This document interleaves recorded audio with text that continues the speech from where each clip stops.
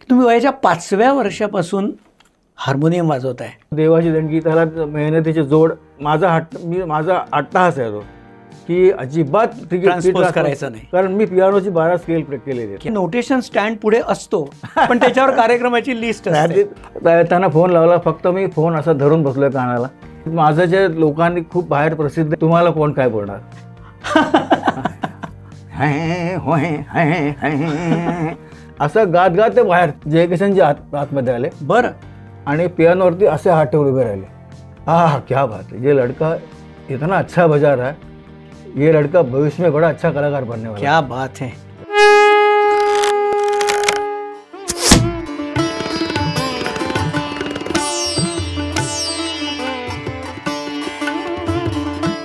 रसिक आज आपण अशा एका कलाकाराला भेटणार आहोत की जे गेली पंचावन्न वर्ष या इंडस्ट्रीत काम करत आहेत लता मंगेशकर आशा भोसले किशोर कुमार हे गायक मंडळी तर आहेतच आणि अनेक दिग्गज संगीतकारांबरोबर लक्ष्मीकांत प्यारेलाल ते नदीम श्रवण सगळ्यांबरोबर त्यांनी ओरिजिनल गाण्यामध्ये ती वाद्य वाजवलेली आहेत.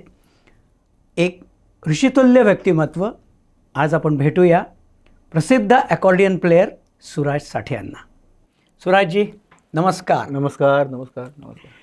मनापासून तुमचं स्वागत. सुराजी मला असं वाटतं की या एपिसोडची सुरुवात तुमच्या एखाद्या छान वादनाने व्हावी असं मला वाटतं. मी काही तुम्हाला जे आवडेल ते वाजवा.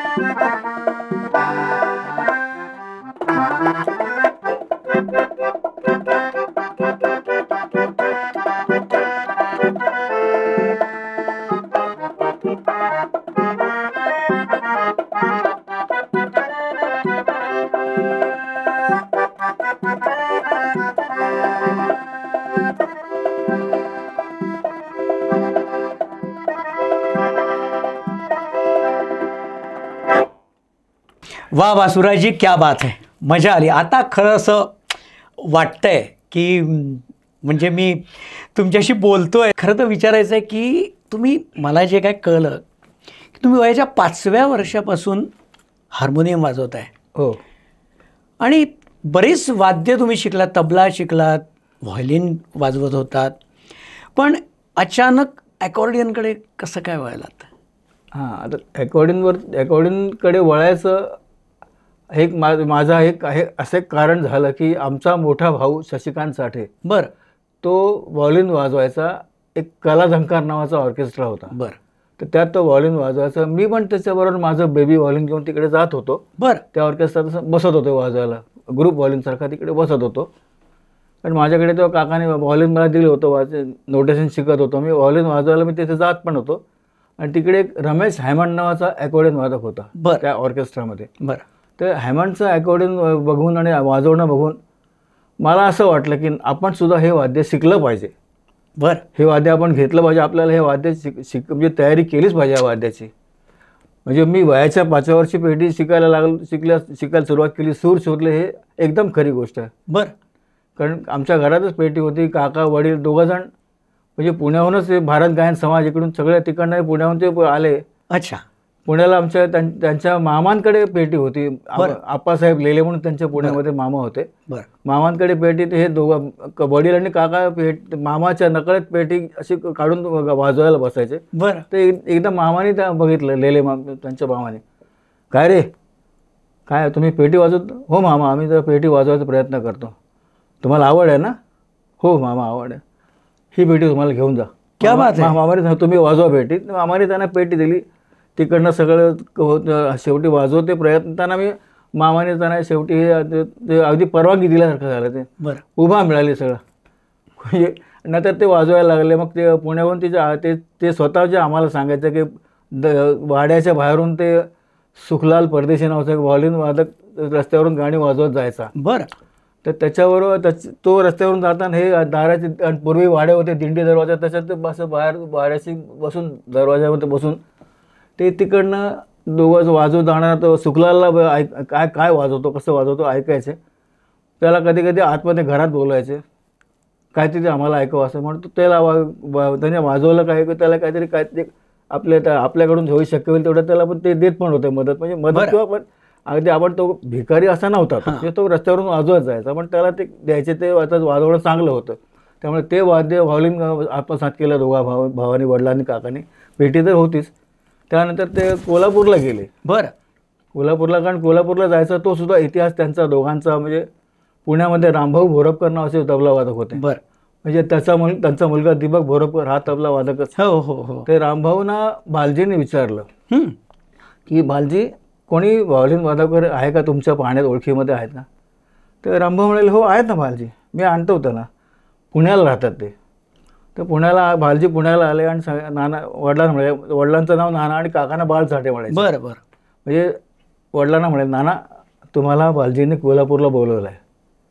त्यांच्या कंपनीत तुम्ही व्हायोलिन वादक म्हणून तुम्ही रुजू व्हायचं आहे. बरं नाना म्हणाले अहो रामभाऊ मी पुणे कधी पुणे सोडलंच नाही कधी पुण्याच्या बाहेर गेलोच नाही मी.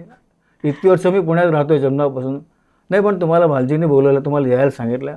ते भालजी भालजींच्या ठीक आहे मी येतो म्हणाले. व्हॉलिन घेऊन नाना तिकडे गेले कोल्हापूरला. व्हॉली व्हॉलिनची त्यांच्या म्हणजे भालजीच्या नोकरीमध्ये रुजू झाले ते कंपनीच्या. काही दिवसांनी भालजीने पुन्हा ना नाना आता आणखी कोणी एखादा व्हॉलिन वादक आहे का? तर नाना म्हणाले हो आहे ना. माझा धाकटा भाऊ आहे.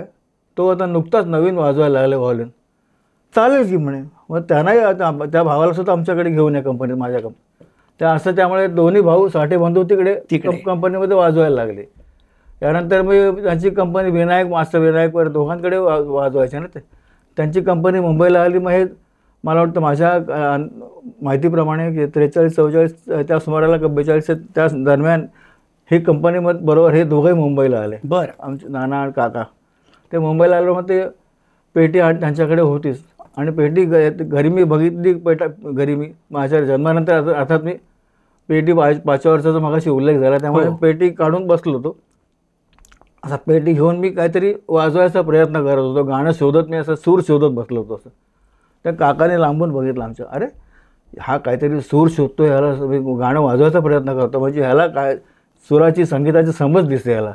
ह्याला आपण शिकवलं पाहिजे. म्हणून काकाने मला- शिकवायला सुरुवात केली पाचव्या. वर्षापासून. आणि त्याच्यातून मग ते आपण म्हणतो देवाची देणगी त्याला मेहनतीची जोड हे सगळं त्या झाल्यामुळे पेटी शिकत शिकत आणि आपण म्हणतो पायरी पायरीने तसं त्यानंतर पेटी झाली. थोडासा तबला मी शिकलो. मी तबलासुद्धा मी मी मी असं कधीच मी हे करणार नाही की तबलची मी तबल्यामध्ये अगदी तबला पटू झालो असा नाही. पण तबला शिकलो मी. बरं. तबला शिकलो कारण काकांचे इतके अं, एवढे मित्र होते तबला वादकवर तर तबला वाजवायला लागलो. काकाने घरी तबला आणला होता. तेव्हा स्व तबला खूपच स्वस्त होता. आतासारखे हजारो रुपये तबल्याची किंमत नव्हती. तब तबला आणला घरी. तबला प्रकाश नावाचं पुस्तक आणलं होतं. अच्छा. ते- त्यामुळे ते ते बोल त्याच्यातून मी बघून वाजवत होतो. तर काकांचे मित्र काही काही मित्र घरी यायचे. तर काका म्हणायचे अहो जरा हा बघ हा तबला वाजवतो ऐका. तर तबला वाज ऐकल्यावरती हा तुला माझ्याकडून माझं बोल घे नवीन बोल घे. असं करत करत तबला तबल्याचं त्यामुळे. तबल्याचे बोल शिकत गेलो. सूट लहान बेबी व्हॉलिन आणलं होतं काकानी. तर ते व्हॉलिन शिकलो. ते वेस्टर्न रोटेशन अर्थात. आणि एकोणीसशे बासष्टला घरी पियानो आणला. क्या बात आहे. एकोणीसशे बासष्ट ते चौसष्ट म्हणजे आमच्याकडे एल एम फटाडो कंपनीची धोबी तलावला आहे ते दुकान. बरं बरं ते एल एम फटाडोच्या त्याच्या त्याच्याकडून महिना वीस रुपये भाड्यावरती पियानो आणला. वीस रुपये? हा महिन्याला भाडं वीस रुपये होतं. तेव्हा पियानो काकाने तिकडनं आणला. बरं. म्हणजे तुम्ही पियानोही शिकलात? हो. मग तू आणि स्टाफ शिकलात? माझं ते सांग की माझं उलटं झालं. म्हणजे आपण सरगम म्हणतो सरगम मी नंतर वाजवायला सुरुवात केली. सारेगम नंतर वाजवायला सुरुवात लागलो डी सी डी एफ हां आधी हे पियानो शिकल्यामुळे माझं शिक्षण वेस्टर्न स्टाफ थोडं क्या बात आहे. आधीच तयार झालं. वा वा. आणि त्याच्यानंतर मी सारेगामा नंतर मी सारेगामा करता किंवा मराठी नोटेशन यायला मी कोणाकडे असं गुरुकडे गेलो नाही शिकायला. मी स्वतः प्रयत्न करत लिहित गेलो. सर त्यामुळे सरगम आणि मला तो दोन्हीचा खूप फायदा होतो. क्या बात आहे दोन्ही नोटेशन लिह लिहिण्यामुळे मला किती खूपच फायदा रेकॉर्डिंगमध्ये अशा करता होतो की मला अनिल मोहिले सांगायचे सा साठे हे त्या आम हे व्हॉलिनसाठी पार्ट लिहून द्या वेस्टर्न. व्हॉलिन विओला चेलो काय असेल ती व्हॉलिन स्टाफमध्ये. तुम्ही त्यांना हे व्हॉलिन अनिलचे समोर नोटेशन त्यांनी लिहून दिलेली कॉपी माझ्यासमोर ठेवायची. ते अर्थात फेअर केलेलं असायचं हां. घ्या. हा व्हॉलिनचा पार्ट आहे हा चेलोचा पार्ट आहे हा ब्रास आहे हा ट्रोम्बोन सगळे काय ते पार्ट आहे हे तुम्ही त्यांना त्या वेस्टर्न लिहून द्या. क्या बात आहे मी त्यांना मी ते लिहून देत होतो. कधी कधी असंही मला होतं कधी एक दोन ठिकाणी मला असं झालं की मला वाटतं आनंद बिलिंगच्या टेकला कुठेतरी. मला मला वाटतं प्रकाश का बबलुदा होते. आणि बोलले हे सूरज इधर आओ." म्हटलं क्या? ये वेस्टर्न का नोटेशन हरी को सरगम में लिख के दो. उलट. ये जो है ना नोटेशन ये हरिजी को हरिजी के सामने तर हरिजी काय त्यांना तुम्ही सांगाल त्याच्या आणखी ते वरचढ. हो. हे हरिप्रसाद चौरासी हे हरी यांचं नाव हरिजी म्हणजे काय? त्याचं खय अगदी मूर्ती म्हणतो जे? कसं नाही गाणी किती असं की स्वर्गीय आपण वाद वादन म्हणतो त्या प्रकारचं एक गा- गाणं किती खुलवायचं? त्याच्यामुळे ये इधर आओ तुम सूरज वेस्टर्न नोटेशन ले पढो और हरिजी को सरगम में के दो त्यांना मी त्यामुळे ते सरगम लिहून दिलं. वा आता अर्थातच त्यांना हरिजीना म्हटलं हरिजी आपके लिए नोटेशन दिया हुआ है. अच्छा ठीक आहे बाबा पण ते बघायचे आणि स्वतः आपल्या आणि मना- मनाने आणखी काहीतरी वेगळं खुलवायचे. क्या बात आहे. पण मला एक असं विचारायचं आहे तुम्ही दोन्ही शिकला आहात. कम्फर्टेबल तुम्ही कशा याच्यात? कम्फर्टेबल मला कम्फर्टेबल मला काय एक आपण वेस्टर्न शिकल्यामुळे मला काय होतं की मला डोळ्यासमोर दोन्ही यायचं. तर हां. मग डोळ्यासमोर मी स दोन्ही मला पेपर असे की हा ही फ्रेज काय असेल? हां. ही फ्रेज कशी असेल? आणि सरगमचा फायदा काय एवढ्यासाठी होतो की सरगम तुम्ही गायकाने आयत्या वेळी जरी सा बदलला. आयत्या वेळी स्केल बदललं तरी नोटेशन तरी नोटेशन आपलं आहे तेच तेच वाचतं करेक्ट आहे ते चोक तो कागद समोर आहे तोच आम्ही वाजवणार फक्त जरी जो सूर घेतला तो त्याच्यामध्ये वाजवायचं आणि मुळात मी सांगतो की मी अकॉर्डियन असलं अकॉर्डियनला तर फिक्स आहे. हो. अकॉर्डियनला सूर बदलत नाही. बदलत नाही. पण कीबोर्डमध्ये ट्रान्सपोज वाली करता येतं सोय. पण पिन. मी माझा हट्ट मी माझा अट्टाहास आहे तो की अजिबात करायचं नाही. कारण मी पियानोची बारा स्केल केलेली क्या बात आहे. पियानोमध्ये सगळ्या बारा सुरा स्केलमध्ये प्रॅक्टिस केल्यामुळे कुठल्याही स्केलमध्ये कुठल्याही स्केलमध्ये मला चालतं. आयत्या वेळी गायकाने सूर कमी केला वाढवला तरी आम्हाला चालतं. वा त्यामुळे आम्हाला हे मी माझं मी दुसऱ्या बाकीच्या वादकांना पण सांगतो. हे बघा. हे की ट्रान्सपोज तुम्ही सवय सोडून द्या. आहे त्या सुरात वाजवायचा प्रयत्न करा. की ट्रान्सपोज तुम्ही काय शेवटी? चला असं आहे. बस आम्हाला ह्या सुरात जमत आहे आम्ही किती स्के पेटीवाले पण बघितले हो चेंज करतात. पेटीवाले ते त्याला त्या ज्या सुरात चांगलं जमतं तेच वाजवतात त्या सुरामध्ये आता मी म्हणजे एक- फिरोज नावाचा पेटी वादक होता हो. क- कवाले तो वारला पण आता श्रीधर फडकेच्या गाण्यात तो पेटी माझं मी अरेंजमेंट केली होती. वाजवायला आला पेटी तो. पेटी सोलो वाजवायला. तर त्याला म्हण क्या साठी तुम फसा दे फसा देतो ऐसा बना पीस बना के देतो. आणि त्याने आपल्याकडे स- सुरा सुरात सरकवून घेतलं. अभी सुन अभी सुनाता अभी सुनातो. म्हटलं ये ये है ऐसा है. क्या तुम फसा देतो यार? ते आता तयारीचे वादक होते ते. पण त्या त्यांना आपल्या सुरात वाजवायची सवय ते सरकवून. घ्यायचं आणि त्याच्यात वाजवायचं मी आत्ता तुम्हाला प्रश्न विचारला खरा की म्हणजे कुठल्या नोटेशनमध्ये तुम्ही कम्फर्टेबल आहात पण मी जे काय बघितलं आहे तुमच्या बाबतीत हे आपण काही वेळेला एकत्र स्टेजवर होतोय हो, हो. काही वेळेला कार्यक्रमात माझ्याही कार्यक्रमात तुम्ही हो, हो. आलात वाजवायला तेव्हा मी बघितलंय नोटेशन स्टँड पुढे असतो पण त्याच्यावर कार्यक्रमाची लिस्ट असते. ती पण ती गोष्ट तितकीच खरी आहे. हां म्हणजे ते नोटेशन नसतंच. सगळे आयपॅड काढून बसतात. तुम्हाला सगळं बाय हार्ट आहे. होत गेलं पहिल्यापासून. मी आता त्या त्याच्यावरती माझं एक उत्तर असतं की मीच मी अगदी सांगतो की आपण म्हणतो की आपण एवढे चाळीतला मी माणूस. मी सांगतो की जन्मी जन्मापासून ग्रँट रोड चिखलवाडी मी चाळीत जन्मलेला चाळीत वाढलेला माणूस आहे. म्हणजे इतकं आम्ही जे आहे ते आम्ही स्प स्पष्टपणे खरं ते प्रांजळपणे सांगतो की मी चाळीत वाढलेला माणूस आहे. बरं त्यात काय व्हायचं की चाळीत मध्ये रा- राहिल्यामुळे आपण म्हणतो चाळ संस्कृती. त्या चाळ संस्कृतीमध्ये काय असायचं? सगळ्यांची दारं उघडी ते असायचंच पण ती दुसरी गोष्ट म्हणजे काय ती चाळीमध्ये कुठे ना कुठेतरी काहीतरी बारसं आहे कुठे लग्न आहे कुठे काहीतरी आहे. आणि ते चाळीत त्या लोकांचा उत्साह म्हणजे दिवसभर लाऊडस्पीकरवर गाणी रेकॉर्ड लावत राहायचे. बरोबर. त्या रेकॉर्ड ऐकत ऐकत दिवसभर ते गाणी आपोआप पाठ व्हायची गाणी ती गा चाळीमधली गाणी किंवा आणि रेडिओ घरामध्ये होता. आमच्या घरात जो काका ब- बाळू काका आमचे बाळासाठी सकाळी पहाटे रेडिओ सुरू व्हायचा. तो रात्री बारा अकरा बारा वाजे वाज- वाजता बंद होईपर्यंत आमच्या घरात रेडिओ पण चालू असायचा. त्यामुळे रेडिओ पण रेडिओवरती ऐकत ऐकत ती सुद्धा गाणी मला आणखी पाठवत पण. मला आश्चर्य काय वाटतं माहिती आहे का? लीड पीस जो असेल की इंट्रो इंट्रो आहे एम वन आहे एम टू आहे कोडा आहे हे सगळं पाठ ठीक आहे ऐकून ऐकून. पण तुम्हाला ते ऑब्लिगेटिव्ह वगैरे सगळे माहिती असतात. म्हणजे कधी कधी असं असतं ना आयत्या वेळेला गाणं ठरतं. मग कीबोर्डिस्ट थोडं वाजवून बघतात. तुम्ही पटकन येऊन सांगता की हा असा पीस आहे. हे एवढे मास्टरी ती ते होत हो- आपोआप ते काय मला ती सवयच लागली. सवय पहिल्यापासून होती की सगळं डिटेलिंग माझ्याकडे म्हणजे डिटेल मला ती माहिती पाहिजे? डिटेल आपल्याला माहिती पाहिजेच. असायलाच पाहिजे. अगदी बारीक बारीक जागा सुद्धा. म्हणजे मला लोकांनी अरे तू बाईक कुठली जागा सोडतच नाहीस रे. म्हटलं जागा सध्या जा महाग झाल्यात राहायच्या राहायच्या जागा महाग झाल्यात पण ही जागा मला म्हटलं मला सवय पहिल्यापासून आहे की कुठली जागा तू म्हणे तू एक एक जागा तू म्हणजे बारीक बारीक डिटेल सुद्धा वाजून दाखवतो म्हटलं ती जागा मला सवय तीच झाली बात की मला ती ऐक- ऐकून ऐकून की कुठली एखादी बारीक जागा सुट क्वचित किंवा तरी राहून जाते नाही सने पण ती म्हटलं मला मी प्रत्येक ऑब्लिगाटो मागचा आता असं नाही काही लोक हेडफोन लावत आहेत बारीक बारीक याच्यामध्ये ऐका ऐका तर आम्ही तुम्हाला ती ऐकू येते ते मी पुन्हा पुन्हा आपण म्हणतो मी रिवाइंड करून पुन्हा बघीन. हां बरोबर. काय बरोबर आहे ना? मी लिहिलेलं सुद्धा मी आता नोटेशन लिहिलं असेल अरेंजमेंटच्या वेळेस सुद्धा. किंवा न नवीन गाणं मी बसवतोय. तर ते समजा गाणं कॅसेटवरती ऐकलं पूर्वी कॅसेट होत्या. सीडीचं गाणं ऐकता ऐकता मी पीस लिहितोय. पुन्हा थोडंसं मागे ते घ्यायचं. लिहिलेलं बरोबर चेक करायचं चेक करायचं. लिहिलेलं बरोबर आहे की नाही? बरोबर आहे? मग चला पुढे फॉरवर्ड तुम्ही पण तसंच नोटेशन लिहिता. म्हणजे मी ते नोटेशन तुमचं बघितलं नाही म्हणून मी विचारतोय.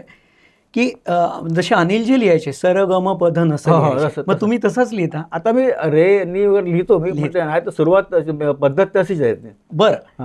म्हणजे त्याचा उद्देश हा की म्हणजे त्या रिअल टाइममध्ये नोटेशन. लिहायचं की सर गम पध हां, हां. नसं असंच. बरं. सुराजी हे वाद्य जे आहे ना हे रसिकांना असं पटकन दिसत नाही. कारण हे आता हे सगळे दुर्मिळ होत चाललेलं आहे. प्रत्येक कार्यक्रमात सुद्धा याचा समावेश आजकाल नसतो. आणि तुमच्यासारखे वादक असतील तरच हे वाद्य स्टेजवर वाजतं. त्यामुळे लोकांना याची माहिती नाही आहे की हे इकडे हे जे तुम्ही कॉर्ड्स वाजवता किंवा याचं एक्झॅक्ट काय वाद्य कसं आहे हे जरा लोकांना थोडं थोडासा डेमो देऊन सांगा. हे वाद्य आपलं नाहीच आहे. तसं बघायला गेलं तर हे भारतीय वाद्य नाही आहे हे परदेशी वाद्य आहे. बरं. म्हणजे ह्या वाद्याचा शोध माझ्या अंदाजाने दोनशे अडीचशे वर्षापूर्वी नक्कीच लाग ते कुठेतरी बरं. यूट्यूबला वर माहिती आहे. हां. मी थोडीशी वाचली होती. ह्या वाद अडी- अडीचशे ते तीनशे वर्षापर्यंत साधारण तो माझा अंदाज आहे की बरं. त्यावेळी तो शोध लागला या वाद्याचा. बरं. आणि जेव्हा ह्या वाद्याचा शोध लागला तेव्हा माईक सिस्टीम साऊंड सिस्टीम काहीही नव्हतं. नव्हती. बरं. आणि त्यामुळे ह्याचा भाता जो आहे तो असा मोठाच्या मोठा भाता आहे.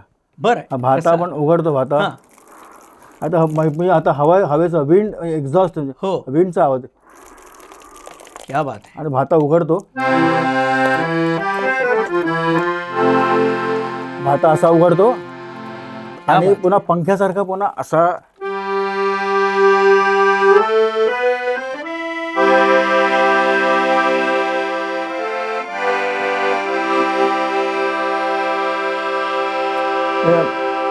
खूप वेळ टिकतो.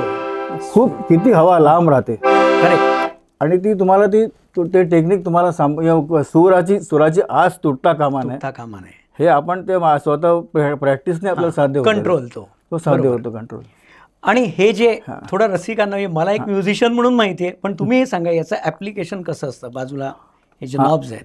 हे जी बास बटन्स आहेत हां. ती आपण म्हणतो की आपण ज्या अकॉर्डियनचे जे स्मॉल साईज या स्मॉल बेबी साईज हां. मीडियम साईज आणि फुल फुल साईज हां करेक्ट तर अकॉर्डिंग बेबी साईजमध्ये अठ्ठेचाळीस बटन बास बटन्स हां. मीडियममध्ये ऐंशी किंवा शहाण्णव असतात. बरं.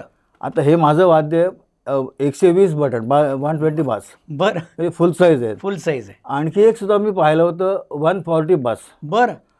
ते वन फॉर्टी बासमध्ये काय आहे आपण ह्याच्यामध्ये सुद्धा ही त्यांनी काउंटर बास फंडामेंटल बास बरं. मेजर मायनर सेवन्थ आणि डिमिनिस्ड अशा ह्या सहा लाईन आहेत. बरं बरं. ह्या वीस सक वीसाचे बरं. आणि मी जे एकशे चाळीस म्हणतोय त्याला आणखी एक लाईन त्यांनी दिली होती मायनर सेवन कॉर्ड बरं. ते. ते आपल्याला वाजवायला पण कारण आणखी एक लाईन रीडची वाढ म्हणजे पाच बटनची वाढल्यामुळे वजनही वाढलं त्याचं. जसं मी हे म्हटलं की माझं तीन लाईनचं अकॉर्डिंग हां. चार लाईनचं असलं की आणखी एक रीडची अजून एक लाईन वाढल्यामुळे आणखी वजन वाढतं त्याचं. करेक्ट तर याचं ॲप्लिकेशन कसं असतं? जरा थोडंसं त्यांनी. त्यांनी हे सुद्धा ते सगळं त्यांनी हे सूर सूर असे त्यांनी बसवलेले आहेत. हां. आम्ही हा काउंटर वाचा म्हणजे हा पांढ आपण त्यांनी हॉलो आहे हा- हॉलो हसी आहे पांढ पांढरी एक. त्याचा काउंटर बास आहे ई म्हणजे पांढरी तीन. करेक्ट हा. क्या बात आहे असं त्यामुळे काउंटर बास फंडामेंटल बास फंड सीचा मेजर सागप बरं. साग Minor. सागप मायनर आता C C seven. C seven आणि- सागप Correct. आणि पुढचं डिमिनिट क्या बात असे त्यांनी ते सगळे सूर असे बास बटन त्यांनी सेट केलेली आहेत ती आणि याच्यावर तुम्ही रिदम पण हो हो. आमचा तो आम्ही ह्याच्यावर आम्ही गाण्याप्रमाणे तो ठेका पण देतो फॉर एक्झाम्पल मला कुठलंही गाण्या त्याच्या त्या गाण्याच्या ताला गाण्याची चालते तो पण कुठलंही एखादं थोडंसं. तर तुम्हाला ते अ, हे दिल है मुश्किल. हां.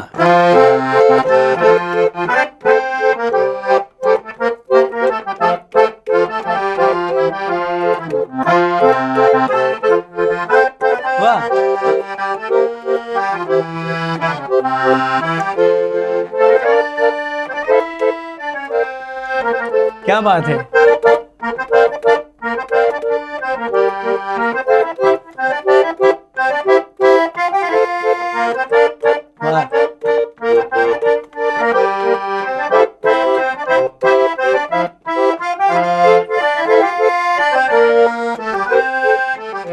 क्या बात है?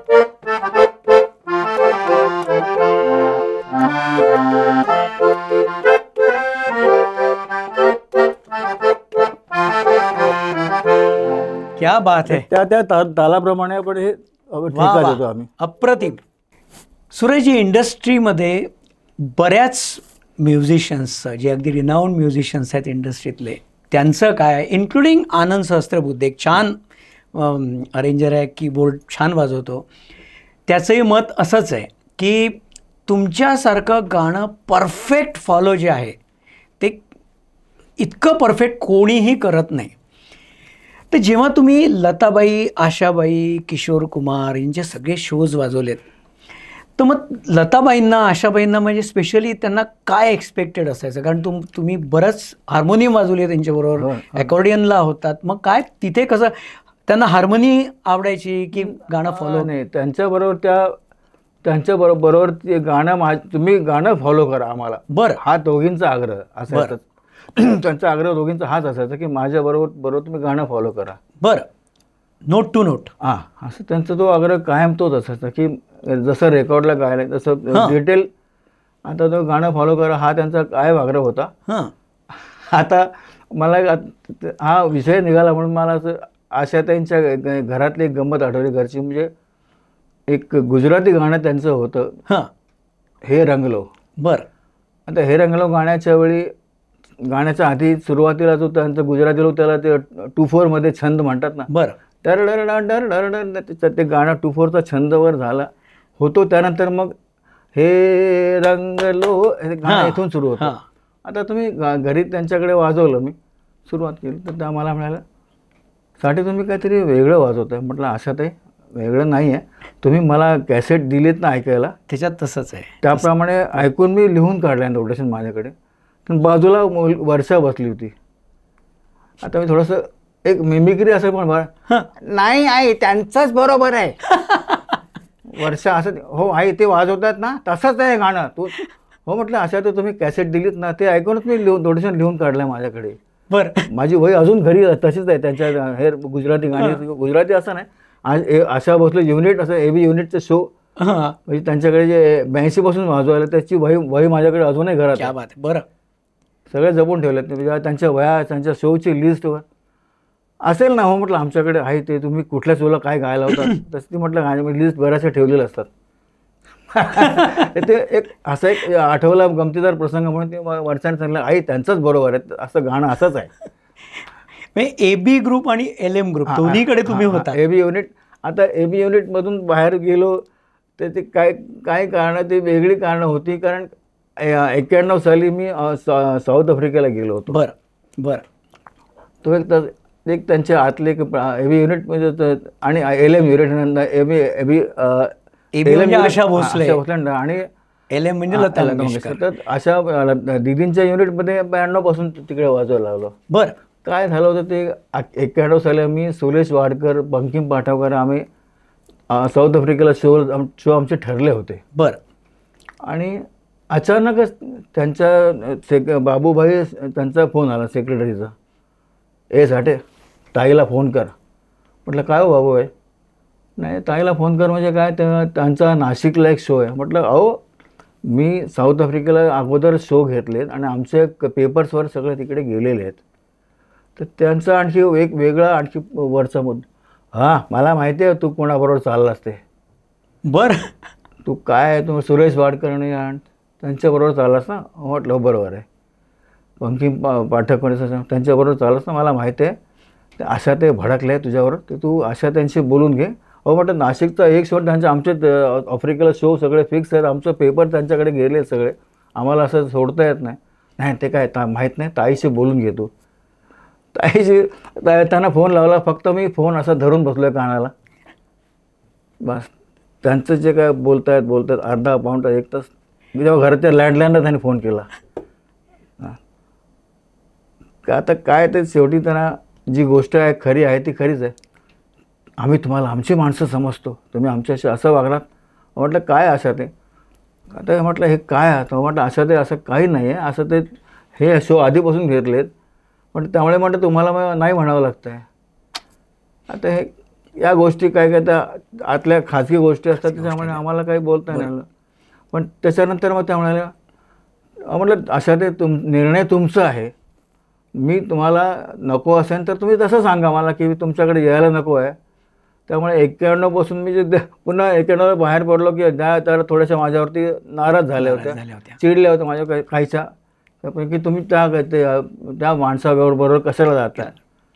तर त्यामुळे मग त्या म्हण त्याला म्हटलं तुम्ही तुम्हाला नको असेल मी मी यायला नको असं तसं सांगा की नाही येणार तुमच्याकडे मी. त्यामुळे ब्याण्णव साली आ- आंधील जेल साठे तुम्ही उद्या ब्या- ब्याण्णव आता ब्याण्णवच्या जे लताबाईंच्या ग- गल्फ कंट्री तिकडे दुबई याच्यामध्ये शो होते.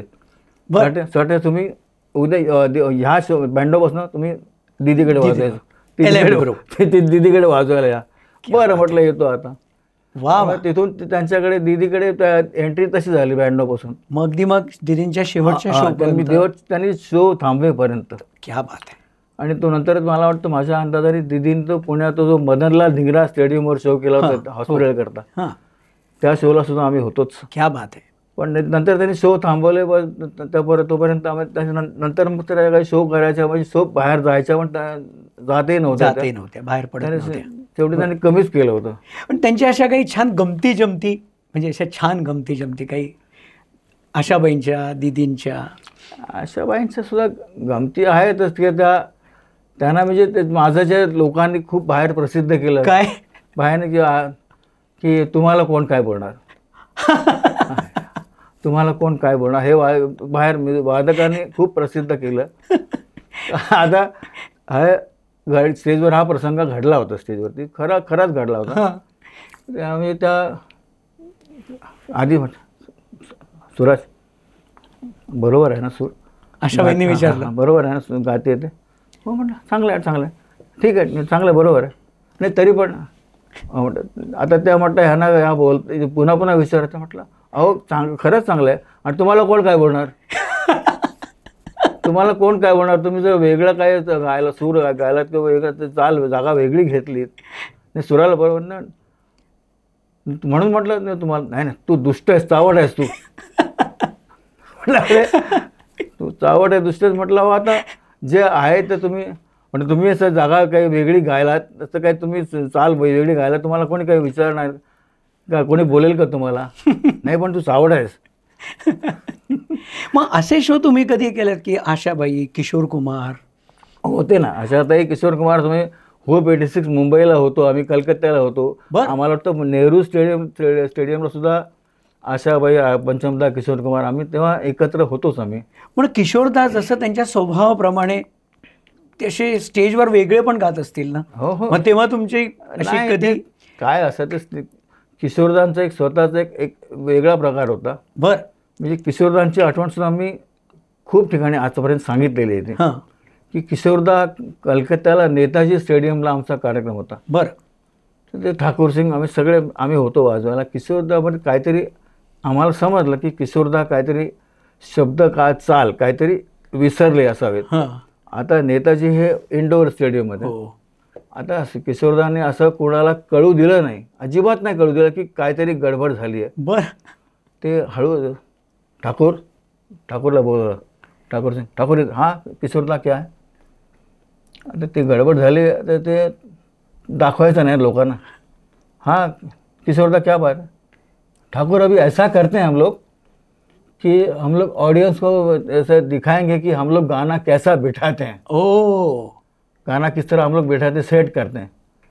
ठीक आहे मग पुन्हा त्याच्यात ती फाईल ते के- टेबलावर होती खाली पाय पाय पावलं पाय उडवणं खेळ मुलासारखं खेळणं ते चालूच होतं। जमिनीवर. जमिनीवर जमिनीवर ते चालूच होतं. पण ते तेवढ्यामध्ये त्यांनी काय केलं सावरलं ठाकुर अभी हम लोग ऑडियंस को दिखाएंगे हम लोग गाना कैसा सेट करते बैठाते। हां। चलो पहिले से सुरू करते म्हणजे पुन्हा पुन्हा गाणं पहिल्यापासून त्याने सुरू केलं केलं हां चलो सुरू करो सुरू करो। मग तेवढ्यात त्याने सावरून घेतलं म्हणजे लोकांना थांग पत्ता नाही लागू काय दिला. नाही की काहीतरी गडबड झाली स्टेजवरती लोकांना त्याने असं असा प्रसंगवादन राखून चलो फिर से सुरू करते क्या बात मी पुन्हा फाईल बघून हे केलं. आणि त्यांचे आणखी जो स्वभाव त्यांचा गमतीशीर स्वभाव त्यामुळे फिल्म सेंटरला एक एक रेकॉर्डिंग होतं कल्याणजी भाईंचं. हम्म. कल्याणजीवाच्या रेकॉर्डिंगला आता असं बरं लिफ्टमध्ये योगायोगाने किशोरदा आणि मी एकाच लिफ्ट लिफ्टने वर चाललो. लिफ्ट एकच होती म्हणा पण त्या लिफ्टने एक एकत्र आम्ही वर चाललो होतो. त्यांचे जे नेहमीचं लुंगी झब्बा त्यांचा तो त्यांचा ड्रेस असायचा. त्यांचं लिफ्टमध्ये सुरुवात झाली गमतीशीर स्वभावामुळे. हे, होय, हे, हे. काय आज कल्याण जी भाई का टेक है? आज कल्याण जी भाई का टेक है?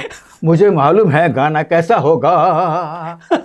असं गात गात ते बाहेर आतमध्ये स्टुडिओ ते दिल दार दार उघडून लिफ्टचं दुसऱ्या मधल्यावर आल्यावर दार उघडून आतमध्ये स्टुडिओ म्हणजे असं त्या चालू होतं असं काहीतरी. आता एवढं तुम्ही छान किशोरदांबद्दल बोललात. एक त्यांचं कुठलं तरी छान गाणं ऐकवा ना अकॉर्डियनवर तुम्ही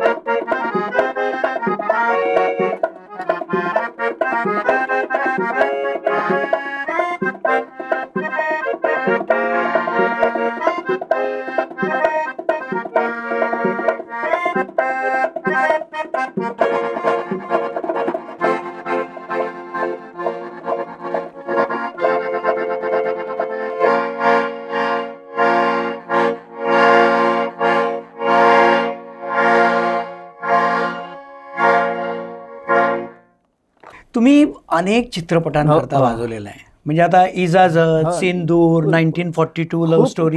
Dilwale दुरे मी हे उदाहरण परिंदा अनेक अनेक आहेत. श्रवणचं आशिकी असे अनेक आहेत. तेच म्हणजे राज राजेश रोशनकडे पण हो म्हणजे म- हे नावं का घेतली की आर डी बर्मन आले एल पी आले सगळे सगळे. लेकिन सुद्धा. म्हणजे मंगेशकर आले. आहेत ना. तुम्ही सगळीकडे काम केलंय. पण इजाजत मला एक आर डी प्रेम असताना. तिथे कसं वापरलं होतं हे अकॉर्डियन म्हणजे इजाजत मध्ये हो. कुठे वापरलं होतं हे जे गाणं मुक- माझं गाणं जे जास्ती लोकप्रिय झालेलेच आहे ते हा छोटीशी कहाणी. हा छोटीशी कहाणी त्या गाण्याचं हा गाण्याची आठवण आहे. बरं छोटीशी कहाणी गाण्याची कहाणीमध्ये ते सगळे अरे बबलूदा मुलकीदा सगळे होतेच हो. हा. मुल- आम- मु- मुलकीदा नाही बाबलूदा मनवारीदा होते. मन्नारी धावते मनोरीदा ते. दोघं असायचेच कारण बासुदा नंतर जेव्हा हळूहळू कमी झाले यायचे हं. त्यामुळे नंतर बबलूदा आणि मनोरीदा काम करायचे दोघं. बरं. तेव्हा त्या गाण्यामध्ये हे दोघं होतेच. बरं. आणि ते गाण्यात त्यांनी मला ते समोर पीस दिला होता की म्हणजे आम्हाला हा असा असा पीस आहे. बरं.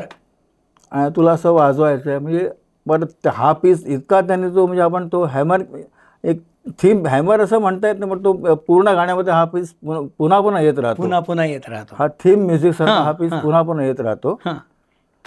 आणि गाणं संपतंय तेव्हा सुद्धा हा पीस म्हणजे आपण त्याला लय कमी कमी करत कमी कसं त्याला जे रॅलेन टँडो किंवा आमच्या टर्म्स. रॅलेन टँडो रिटार्डो तसं त्यांच्या तसा तो कमी कमी करत म्हणजे आपण ती गाडी ट्रेन थांबते. हो. तो इफेक्ट ह्या पीसमध्ये असं नंतर आलेला शेवटी. थोडासा. डेमो ह्या पीसचा म्हणजे टेम्पोमधला पीस आहे हाँ। पहिला इंट्रो खूपच मोठा आहे खूप. मोठा आहे मोठा आहे फ्ल्यू म्हणजे फ्ल्यूट आहे म्हणजे पिया कीबोर्ड आहे पोर्टॅमॅटोचा कीबोर्डचा टोन आहे म्हणजे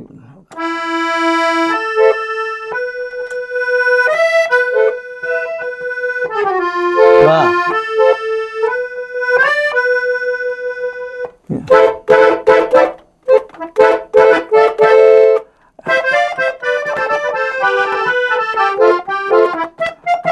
हेड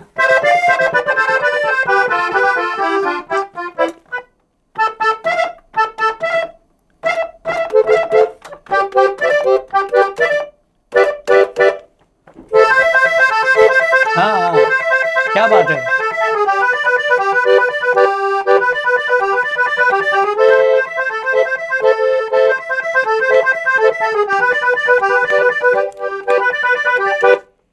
इथून गाणं सुरू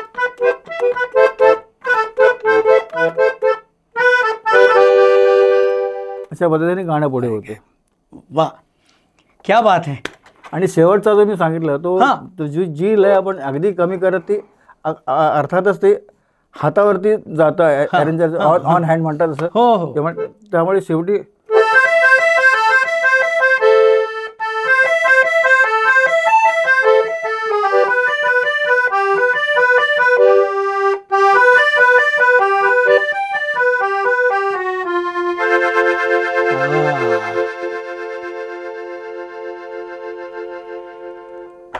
क्या बात है. वा वा क्या बात है मजा आली.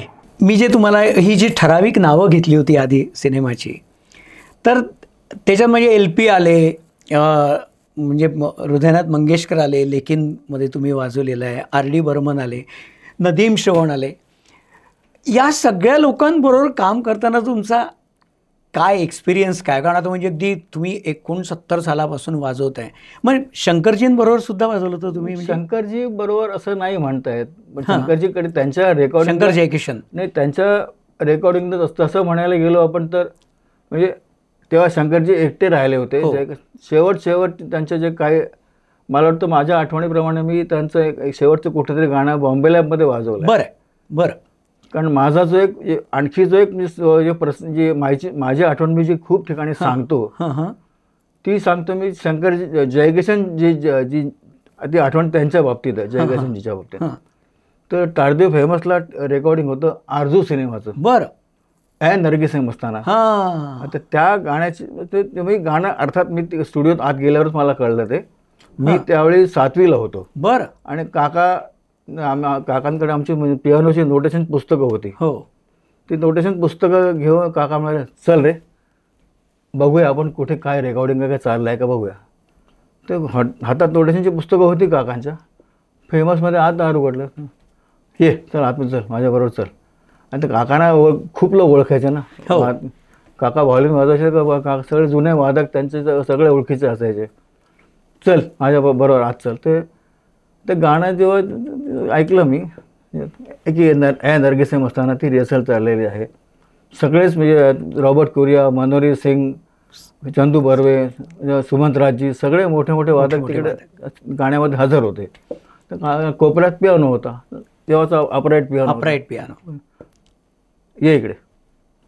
उघड पियानो बस वाजव. नोटेशन पुस्तक समोर ठेवलं पियानोचं हां काहीतरी वाजवून दाखव या सगळ्या ह्यांना तर मी वाजवायला सुरुवात केली. गा तर मी तेव्हा सातवी स वयाने लहान त्यामुळे सगळे हळूहळू मनोरी सिंग सगळे असं येऊन उभं- जवळ ऐकायला उभे राहिले ऐकत ऐकत की मी काय वाजवतो ते माझा दादा ऐकतायत थोडंसं एक एका जागी कुठेतरी माझा एक एक काहीतरी वेगळा सूर वाजला. पुस्तक बघून वाजवत. होतो हं.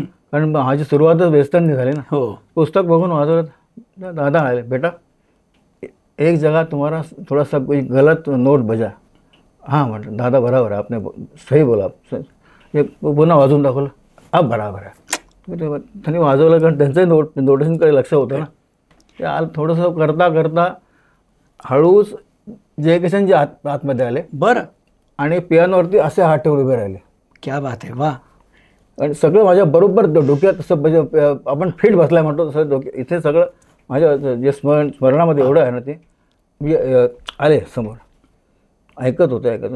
आणि ऐकता ऐकता त्यांच्या तोंडून असं एक वाक्य उत्स्फूर्तपणे गेलं. आह क्या बात है. ये लड़का इतना अच्छा बजा रहा है. ये लड़का भविष्य में बड़ा अच्छा कलाकार बनने वाला है. क्या बात आहे तर भविष्य में बड़ा अच्छा कलाकार बनने वाला ही त्यांची त्यांची मला कौतुकाची थाप वाढली पाठीवर वा वा. क्या बात आहे पण तेवढ्या ह्याच्यात त्यांनी ओळखलं होतं. की त्यांनी हा त्यांनी ऐकलं म्हणजे एक बोलून गेले जयकिशनजी क्या बात आहे. आमच्या गलीत बाजूला राहायचे ते. अब्दुल्ला बेडी म्हणून असं ते आमच्या शेजारच्या गलीत राहायचे ग्रँट रोडला ती ती त्यांची कौतुकाची थाप मला म्हणावं असं वाटलं. नंतर शंकरजी पण भेटले. शंकरजी पण आले. बेटा बजाते रहो बजाते रहो. मेहनत करो बहुत मेहनत करो. बजाते रहो बजाते रहो. त्या दोघांच्या वाक्याचा आपण एक एक शांतपणे विचार केला. कि त्यांची एक जय जयकिशनजी बोलून गेले ब ये लड़का भविष्य में बड़ा अच्छा कलाकार बनने वाला। त्याच्यासमोर शंकरजी म्हणाले बेटा बहुत मेहनत करो बजाते रहो बजाते रहो प्रॅक्टिस करते रहो. तर म्हटलं ह्या दोघांच्या वाक्यात एक काहीतरी एक हे आहे. शंकरजींनी काहीतरी अप्रत्यक्षपणे काय सांगितलं? हो. की मेहनत करो बजाते रहो. म्हणजे काय? त्यांना काय सांगायचं ह्याच्यातून? की तू हवेत उडू नकोस. हां. करेक्ट की तुझे पाय कायम जमिनीवरच राहू दे की हा संदेश त्याने मला त्या वाक्याचा वाक्यातून अप्रत्यक्षपणे सांगे. मला शिकवण दिली की बाबा तू वाजव मेहनत कर बजा बजाते रो बजाते रो ह्यातून त्याने मला हे सुचवलं की तुझे पाय कायम जमिनीवर असावेत हवेत उडू नकोस तू. डोंट गेट ऑन एअर्स असं म्हणतं इंग्लिशमध्ये म्हणतात डोंट गेट ऑन एअर्स तसं झालं ते. त्यामुळे मी अजूनही तसंच मला तुम्ही वा- तसंच राहायचा प्रयत्न करतो करतो क्या बात आहे. पण त्या वयात तुम्हाला एवढ्या मोठ्या लोकांचे आशीर्वाद मिळालेत. मी त्यावरच येतोय की जसं सगळ्या गोल्डन पिरियड तुम्ही अनुभवला म्हणजे यात संबंध मेलडी असायची. आताची गाणी पूर्ण अगदीच म्हणजे वेगळी असतात पण नंतर नदीम श्रवण वगैरे ही जी त्यांच्या गाण्यात सुद्धा आशिकी हो, वगैरे हो, गाणी हो. एक पुन्हा तेव्हा तुम्हाला काय वाटलं की म्हणजे आम्ही नक्कीच आम्हाला हे हे केव्हाही सगळेच मान्य करतील की नदीम श्रवण असतील आनंद बेरीन वगैरे किंवा जतीन ललित ह्या ह्या सगळ्या ह्या जोड्या ह्या जोड्याच आहेत. हो. या जोड्यांनी पुन्हा म्हणजे आपण म्हणतो की गोड गाण्यांचं त्याने पुन्हा तो आपण काय त्याला म्हणा की गोड गाणी त्याने पुन्हा आणली परत. क्या बात आहे. हा गोड गाण्याची म्हणजे मेलेडी त्यांनी मेलडी. त्यांनी कायम आण ठेवली परत. ती त्यांनी जागवली ही जागा ती ही गाणी त्यांनी पुन्हा परत आणली की तो हे आपल्याला गोड गाणे पुन्हा ऐकायला मिळाले त्यांच्या ह्या गाण्यामुळे. मग त्या आशिकीमध्ये वगैरे सुद्धा तुम्ही हो हो वाजवलेलं आहे? नाशिकीमध्ये सुद्धा मा- जुन्या भुला दुंगा हे गाणं तर मीच वाजवलं आहे. क्या बात है. वा वा. इतरही त्यांच्या श्रवणच्या गाण्यामध्ये मीच होतो. आणि काही अ, सडकमध्ये असेल बहुत प्यार करते हैं आणखी सुद्धा त्यांच्या- बहुत प्यार करते हैं तुमको सनम.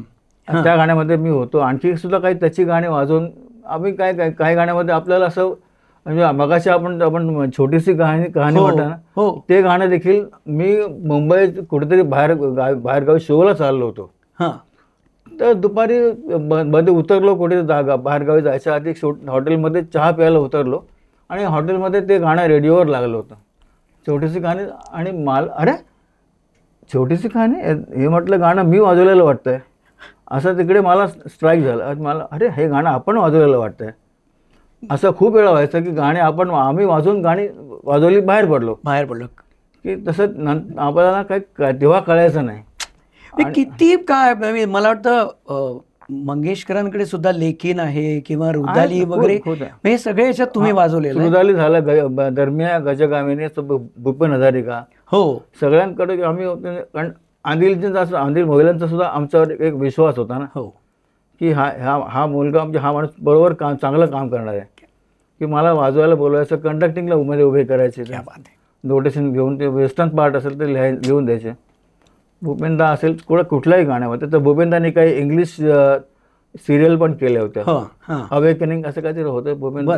बाळासाहेबांचं असेल तर ते लाल सलाम वगैरे असे पण हो. काय काय ते- त्याच्यामध्ये सुद्धा आम्ही वाजवलं होतं. किंवा आकाश के उस पार. हो. हे खेळाचं गाणं. हो हो. त्याच्यामध्ये आम्ही होतो. उस पार मी म्हणजे आता तुम्ही नदीम श्रवणचा उल्लेख केला किंवा आशिकीचा उल्लेख केलाय मग त्यातला एखादा थोडासा पार्ट ऐकवा ना तो त्याच्यातला ऐकू शकेन म्हणजे ते मैं दुनिया दूंगा थोडं हो. ऐकू शकेन. चालेल अगदीच.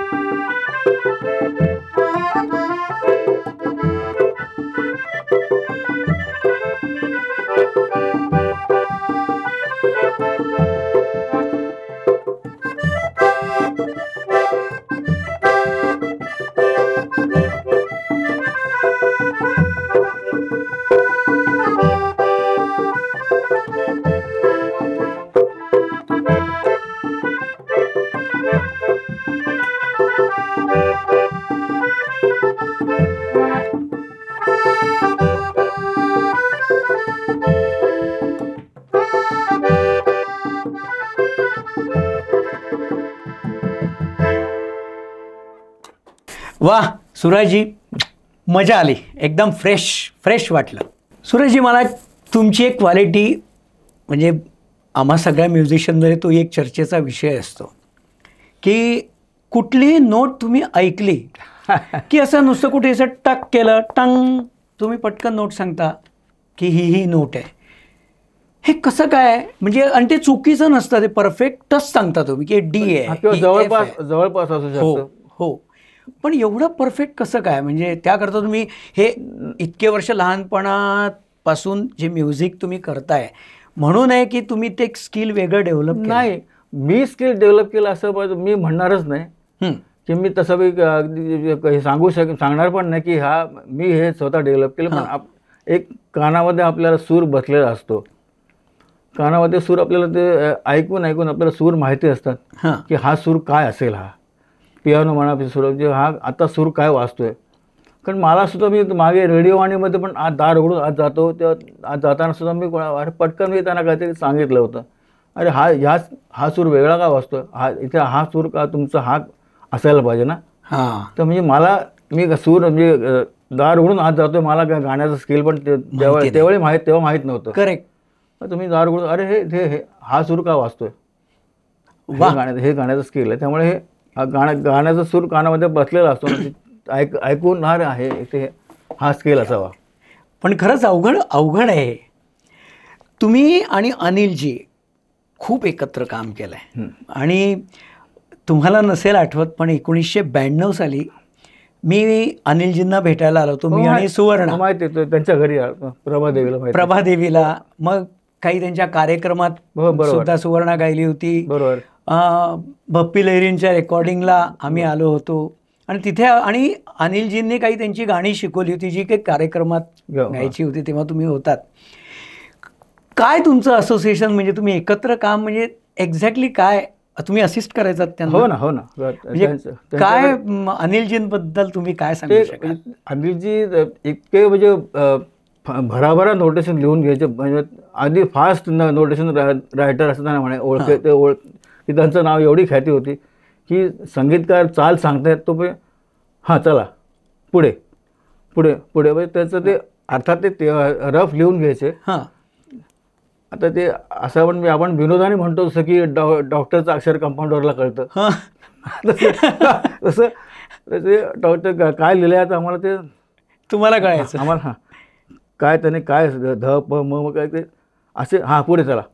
चला पुढे. तर असं ते लिहून घेत जाय वहीवरती. नंतर फेर ते करतच होते. हां. पण आम्हाला हां हे घ्या. आता त्याच्यामध्ये आपल्याला काम काम आपण करतोय. म्हणजे किती लिहायचे आपण आम्ही भरत बलवलीची सावरकरांवरची गाणी हो. भरतच्या घरी जाऊन आम्ही तिकडे त्याच्या घरी बसून आम्ही रोटेशन लिहित गेलो. सगळे आम्ही भजनला बॉलिन पार्ट वगैरे सगळे पार्ट तिथे माझ्या घरी बसून रोटेशन लिहून घेत होतो आम्ही. लिहून पार्ट हा वेस्टर्न लिहा. हे घ्या हे रोटेशन आहे. त्याच्यामुळे ती आणि भरतची गाणी चाली पण खूप कठीण असायची. हो हो हो. त्यामुळे ती एकदम कठीण गाणी. क्या बात आहे. ते सगळ्यात नोटेशन लिहित आणि त्यांचा सुद्धा एक विश्वास होता की हा नीट लिहत आहे ते मला बारीक बारीक इथे असं पाहिजे.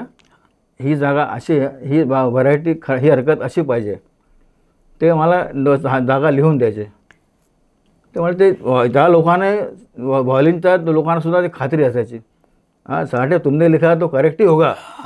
क्या तो- बात तो साठे तो जो जो जो अनिल जी चाहते हैं जो गाने में जो वो म्यूज़िक में जो हरकत खटका मुर्की चाहते हैं वो बराबर है वो ऐसे ही होगा। तुम उन्होंने लिख के दिया ना त्यांना सुद्धा ते खात्री असायची की बराबर ये तुमने लिख दिया तो बराबर ही है। क्या बात आहे वा जसे ते मला वाटतं चलतरंग काष्टतरंग वगैरे ते वाजवायचे।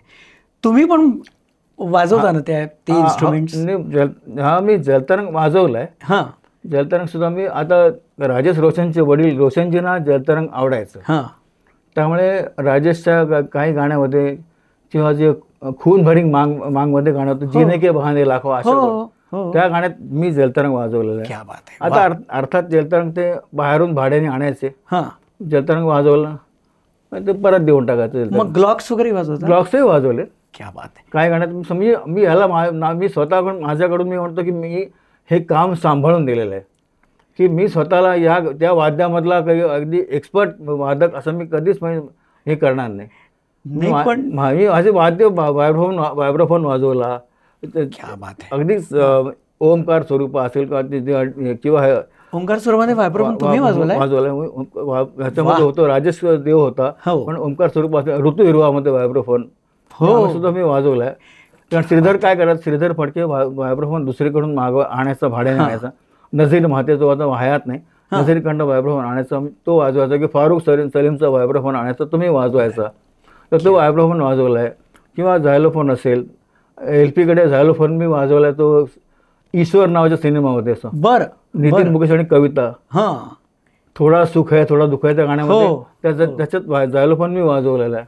क्या बात आहे मी त्याला फक्त मी माझ्याकडून माझ्याकडून मी माझं उत्तर विचारलं तर मी बाबा मी काम सांभाळून दिलं. हे वाक्य मी म्हटलं की मी ही वाद्य मी वाजवतो वाजवली आणि त्या त्या गाण्यात वाजवली. पण हे वा ही ही वाद्य वाजवली म्हणजे माझं हे कायम हेच म्हणणं असेल की हे वाद्य मी वाजवलं म्हणजे काम सांभाळून घेतलं मी. आम्हाला आम्हाला खूप खूप ठिकाणी असं सांगाय सांगायचं की ऐकून फॉलो करा. हा. व्हायब्रोफोन सुद्धा आम्ही आता जे गायक गातोय किंवा एखाद्या रागामध्ये गा गाण्याची गा चाल आहे गाण्याची. हो. ते ऐकून फॉलो करणं हे खूप महत्त्वाचं आहे. बरोबर. आता समोर तुम्ही लिहिलेला कागद ठेवला किंवा एखाद्या आत- आयत्यावेळी गाणं तुम्हाला ऐकून वाजवायचं आहे तर ते गायक काय गातोय ते ऐकूनच फॉलो करावं लागायचं. क्या बात आहे. आप आपलं बोलणं झालं की तुम्ही अनिलजींबरोबर खूप काम केलेलं आहे. आणि नंतर ती जोडी झाली अनिल अरुण. म्हणजे अनिल मोहिले आणि अरुण पोडवाल. बरोबर. मग तेव्हा सुद्धा तुम्ही बरोबर होतात हो ना तेव्हा सुद्धा बरोबर होतो. कारण मग मला काय मी असं का विचारलं माहिती आहे? कारण अरुणजी पण अकॉर्डियन हो वाजवायचे ना हो ना. हो ना. तर मग तेव्हा तुम्ही कसं काय काम करायचं? म्हणजे काय व्हायचं की अरुणजी ऐकवडून वाजवत होतेच हां. पण बऱ्याच वेळा काय ते त्या त्या- ते संगीतकार किंवा अरेंज त्यामुळे ते ते सांगायचे बाबा की आम्ही आता सिंदूरमध्ये आम्ही आम्ही आणि अरुण एकत्र होतो. अच्छा चलो गो- गोविंदावरचं गाणं त्याच्यामध्ये. दोघां दोघा एकत्र होतो त्या रेकॉर्डिंगला. ते गाणं एल पीचं होतं पण जेव्हा बाप्पीकडे अरेंजमेंट असेल तेव्हा ते लोक अरुणजी आतमध्ये बसायचे. बरं. म्हणजे अरुणजीची अरेंजमेंट असताना अरुणजी आतमध्ये बसणार अंदिल बाहेर कंडक्ट करणार. बरं. अंदिलची अरेंजमेंट करताना अंदिलजी आतमध्ये अरुण बाहेर कंडक्ट करणार. असे ते तसे वाटून घ्यायचे गाणे. बरं बरं. त्यामुळे तसे स्वतःचे गाणे जरी ते म्युझिक असेल तेव्हा मला टार्झनमधली आ- आठवण ती सांगायची होती. टार्झन की तमाशा बनके आहे उत्तरा केळकरचं गाणं आहे. हां ते गाणं अरुणजीने अरेंज केलं होतं. बरं. त्यात तीन म्युझिक होती. बरं. तर तीन म्युझिक होती ते म्हणे अरुणजीने मला सांगितलं की हे बघ तीन म्युझिक आहेत ना म्युझिक वन जे आहे ते मी तुला क मी कंपोज केलेलं म्युझिक आहे ते ठेवूया आपण. हां. आणि म्युझिक थ्री आहे ते तू स्वतःच्या मनाने काहीतरी एक वेगळं काहीतरी डेव्हलप कर काहीतरी स्वतःच्या मनाने काहीतरी तू असं इम्प्रोव्हाइज कर. बरं. त्यामुळे तसं ते वेगळं मी काहीतरी इम्प्रोव्हाइज केलं होतं ते बरं. थर्ड म्युझिकला त्या गा कॉर्ड्सवरती म्हणा किंवा पण हे म्युझिक म्हणायचं माझं आपण आहे ते ठेवूया पण ठेवूया म्हणा बरं. पण नंतर असाही एक काळ होता की अनिलजी वेगळे झाले आणि अरुणजी वेगळे झाले. हो. वेगवेगळे ते म्हणजे करायला लागेल. इंडिपेंडेंटली काम करायला लागले. करायला लागेल. मग तेव्हा? हो, तेव्हा सुद्धा तेव्हाही आम्ही दोघांकडे का काम केलेलंच आहे. बरं. म्हणजे मी असेल नंदू केरकर आम्ही काही काही त्यांचे वादक ठरलेलं होतो. आम्ही दोघांकडे वाजवायला जात होतोच. बरं. म्हणजे अगदी मीरा का भवन अरुण पडो अरुणजीने वेगळं काम केलं. हां. किंवा हे आता अशीही बनवा बनवी असं. हो. की माझा माझे माझा पती करोडपती अनेक त्याच्या सगळं तुम्ही वाजवलंय? त्याच्यामध्ये ते बहुतेक वेळा म्हणजे आता एक गाणं मला वाटतं के भरतने वाजवलं होतं वाटतं. हां. निघा मी आले मी निघाले असं काहीतरी तेव्हा हो. तेव्हा तो तो कीबोर्डचा टोन होता मला माहीत पण ती एक गा एक गाणं के भरतने वाजवलं होतं. बरं. अरुणजीकडे पण बरेचसे गाणे तुम्ही अरुण-. आम्ही वाजवले ते मला सांगा. हां तू वाजव हे गाणं. वा. मरा मराठी मराठी कसं काय ते मिरची अवॉर्ड मला मिळालं होतं. ते बांध बांद्र्याला त्याचा सम तो हो, हो. सोहळा होता. हो. म्हणजे तो मा मराठी म्हणजे आपण कामगिरी एवढ्या वर्षाच्या संगीत क्षेत्रातल्या कामगिरीबद्दल असं मला बरं. अ, तर मी तेव्हा भाषण मा- पुरस्कार स्वीकारला पण तेव्हा मी गमतीने मी कसं वाक्य माईक माईकवर म्हटलं होतं हं. की आज मला मराठी मराठी मिरची मराठी म्युझिक अवॉर्डमध्ये मला त्यांनी अशोकजी सगळे एवढे परीक्षक त्याच्यामध्ये ज्युरी होते हे मला त्यांनी अवॉर्ड दिलेला आहे. पण मला एक एक अगदी आवर्जून सांगावं असं वाटतं की हे मिरची मराठी म्युझिक अवॉर्ड मला हे मी स्वीकारतो आहे आनंदाने मला खूप आनंद झाला आहे पण मला हे सांगताना एक आनंद होतो की ही ही जी मी- ही मिरची आहे ही मिरची क- तिखट नाही गोड आहे. क्या बात आहे. वा. वा सुराजजी म्हणजे तुमच्यावरून काय आहे आपण आपलं तासन तास सुरू होईल तुमची इतकं काम केलेलं आहे. आठवणी खूप निघतात. खूप निघतात. त्यामुळे मला किती बोलू किती नाही असं मला खरंच झालं. आणि माझ्या परीने तुम्ही जे मेन मेन लोकांबरोबर मेन मेन मी एवढा करत कदाचित तेवढेच मला माहिती असतील. म्हणजे लताबाई आशाबाई किशोर कुमार नदीम श्रवण हा जो सगळा अगदी अनिल अरुण आता जतीन ललितचं पण जतीन ललित. म्हणजे हा सगळा काळ तुम्ही खऱ्या अर्थाने गोल्डन पिरियड सगळा तुम्ही वाजवलेला आहे. मला असं वाटतं सुराजी या गप्पांची सांगायला तुम्ही काहीतरी छान म्युझिकली करावी असं मला वाटतं. तुम्हाला जे आवडेल ते वाजवा.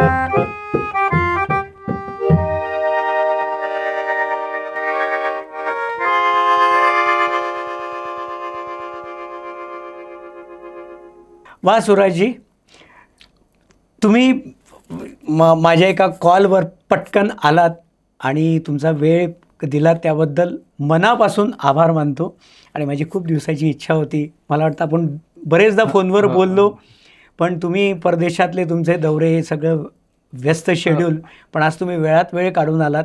त्याबद्दल खरंच मनापासून धन्यवाद. नमस्कार धन्यवाद. थँक्यू नमस्कार.